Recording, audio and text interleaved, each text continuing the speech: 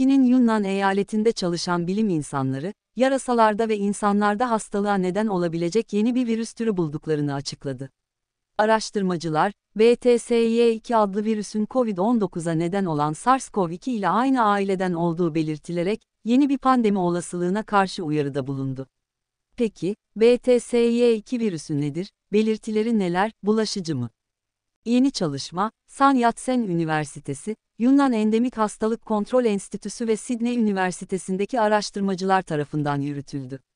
Araştırma, Bayırtsiv adlı sitede ön baskı olarak yayımlandı. Çalışmanın yazarları yaptıkları açıklamada, hem SARS-CoV-2 hem de SARS-CoV ile yakından ilişkili insanlar veya çiftlik hayvanları için bulaşıcı olması muhtemel yeni 5 virüs türü belirledik.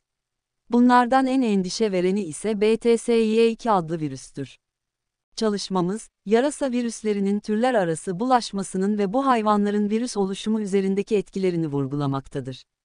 Diğer taraftan söz konusu çalışma için araştırmacılar, Çin'in Yunnan eyaletindeki 6 şehirden 15 türü temsil eden 149 farklı yarasadan rektum örnekleri topladıklarını bildirdi. Çalışma kapsamında canlı hücrelerde bulunan nükleik asit olan RNA, her bir yarasa için ayrı ayrı sıralandı. Araştırmacılar, endişe verici bir şekilde aynı anda tek bir yarasayı enfekte eden çok sayıda virüsün bulunduğunu kaydetti.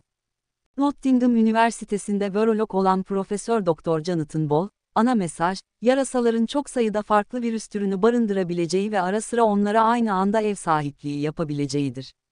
Bu tür ortak enfeksiyonlar, özellikle koronavirüs gibi ilgili virüslerle, virüse kritik genetik bilgi parçalarını takas etme fırsatı vererek doğal olarak yeni varyantlara yol açar, dedi.